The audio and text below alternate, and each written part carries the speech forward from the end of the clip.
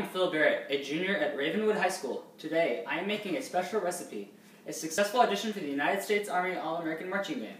The first ingredient is who I am. I am the youngest of a set of triplets. We were born three months prematurely, and we have had to overcome many adversities because of this. Next in our concoction is community. I am currently a Life Scout working on my Eagle project.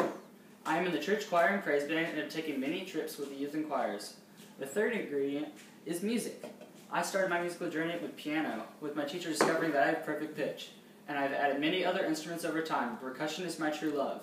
My accolades in percussion have grown each year to include principal player in Wind Symphony, principal player in Wind Ensemble, principal player in the County Honor Band, Tennessee Mid-State Gold Band, Tennessee Mid-State Orchestra, Tennessee All-State Orchestra, Nashville's Curb Youth Symphony, and Music for All's Honor Band of America. I have also marched with Ravenwood's marching band every single year of high school, and was also the winner of Tennessee Percussive Art Society's marching snare and keyboard contests. Thank you for watching me make my unique recipe for the USAA and B audition. Cheers! What? I'm not drinking that.